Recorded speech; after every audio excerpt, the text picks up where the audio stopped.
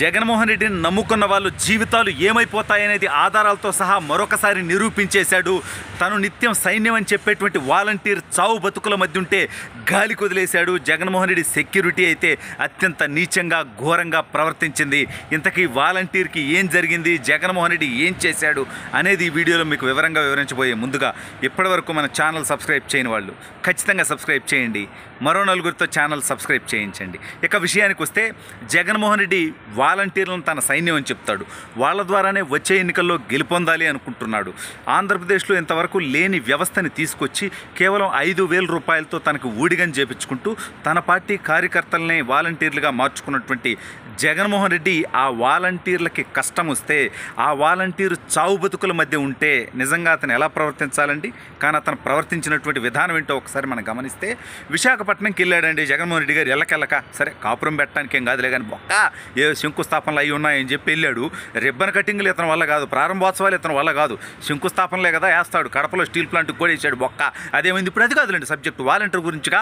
అయితే పద్మనాభపురానికి సంబంధించినటువంటి ఒక వాలంటీర్ క్యాన్సర్ వ్యాధితో బాధపడుతూ చావు బతుకుల మధ్య కొట్ట కొట్టుమిట్టాడుతూ నాకు సహాయం కావాలి సీఎం సార్ అని చెప్పి ఆవిడ please save me CM sir అని చెప్పి ఒక ప్లకార్డు పట్టుకొని ఆంధ్ర యూనివర్సిటీ దగ్గర ఉంటే అక్కడ జగన్మోహన్ రెడ్డి సెక్యూరిటీ విధులు నిర్వహించేవాళ్ళు. నువ్వు ముఖ్యమంత్రిని ఇక్కడ కలవటానికి లేదు ఇక్కడి నుంచి వెళ్ళిపో అని చెప్పి సెక్యూరిటీ వల్ల అత్యంత పాశవికంగా వాలంటీర్ని అక్కడి నుంచి పంపించడం జరిగింది. ఇవాళ పవన్ కళ్యాణ్ గారు వాలంటీర్లని ఏదో అంటున్నారని చెప్పి బాగా మనోభావాలు మడతపడిపోతున్నాయి కదా. మరి మీ సాటి వాలంటీర్ చావు బతుకుల మధ్య ఉంటే క్యాన్సర్ వ్యాధితో పోరాటం చేస్తుంటే మరి మీరు చాలా గొప్పగా చెప్పేటువంటి జగన్మోహన్ రెడ్డి గాలి కుదిలేశాడే దీనికి ఏం సమాధానం చెప్తారు? అయితే నేను వాళ్ళకి ఒక సలహా చెప్తానండు. మీరు మీ జగన్మోహన్ రెడ్డి గాలి కుదిలేసాను సరే అమ్మా వాలంటీర్ ఎవరన్నా తెలియదు దయచేసి నీకు ఈ వీడియో చేస్తే నువ్వు ఒక పని చేయమ్మా.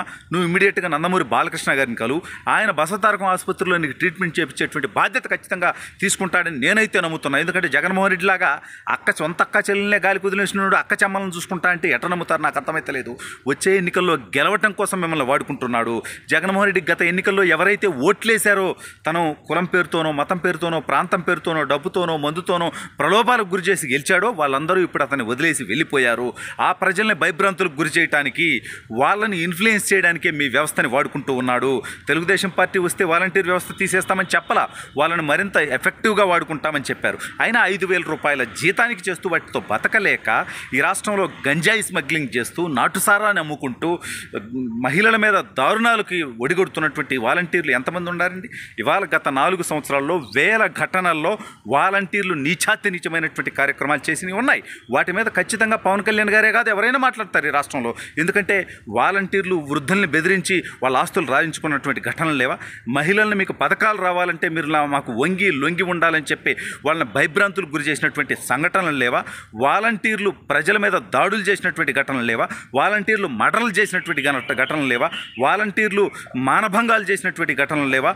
వాలంటీర్ అనేటువంటి వాళ్ళు ఇవాళ రాష్ట్రంలో చేయనటువంటి అరాచకాలు ఉన్నాయా? కాకపోతే వందకి వంద మంది కాదు. అందులో ఖచ్చితంగా ఎనభై శాతం మంది దుర్మార్గులతో నిండిపోయి ఉన్నది వాళ్ళ వాలంటీర్ వ్యవస్థ. సరే ఇప్పుడు జగన్మోహన్ రెడ్డిని నమ్ముకుంటే వాళ్ళ బతుకులు ఏమవుతాయంటే గత నాలుగు సంవత్సరాలుగా కనీసం సీఎం రిలీఫ్ ఫండ్ కూడా ఇవ్వలేనటువంటి దయనీయమైనటువంటి పరిస్థితిలో ఈ రాష్ట్ర ప్రభుత్వాన్ని నమ్ముతు నడుపుతున్నాడు.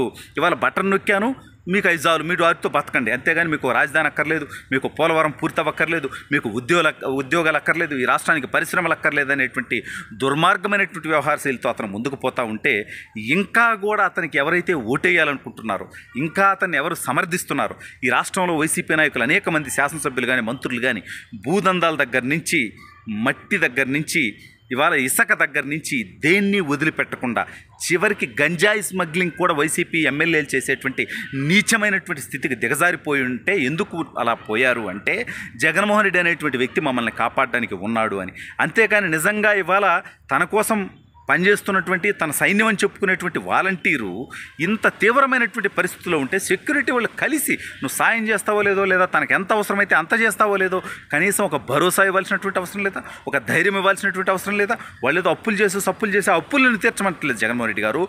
తనకి అనారోగ్యంగా ఉంది. నువ్వు ఈ ఆరోగ్యశ్రీని శ్రీని నిర్వీర్యం చేసింది నువ్వు కాదా?